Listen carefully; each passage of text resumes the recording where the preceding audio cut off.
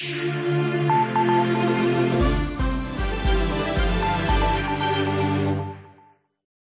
Bonjour à toutes et à tous, bienvenue sur votre chaîne d'information régionale, l'info en continu.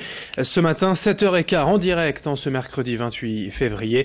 Avant toute chose, évidemment, vos prévisions météo. Pas de changement aujourd'hui.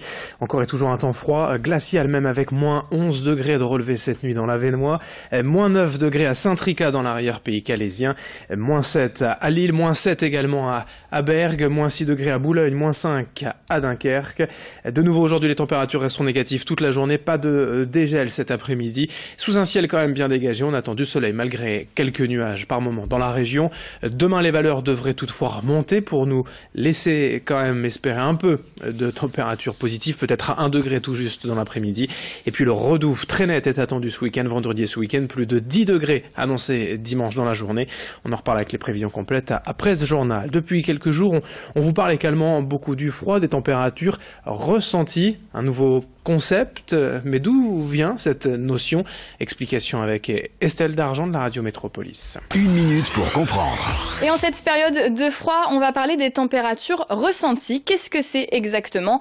Eh bien, c'est une notion qui est née durant la Seconde Guerre mondiale, en fait, lors d'expéditions en Antarctique par les États-Unis.